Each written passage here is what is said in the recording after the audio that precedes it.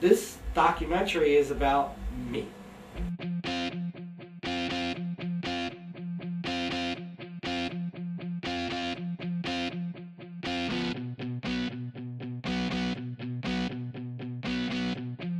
I am the star, and the star goes where he wants to go.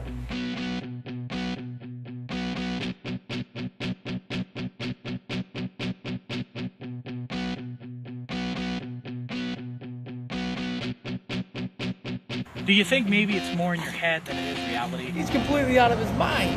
Something's fucked up there. Well, so you know he's running for president in Yeah, well, 2012. that's, that's pretty He- fucked up.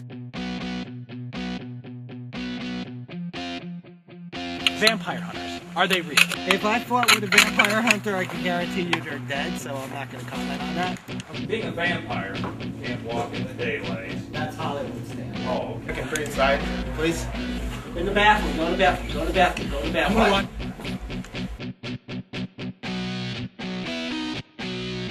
I need to talk to you. I have a problem with the documentary.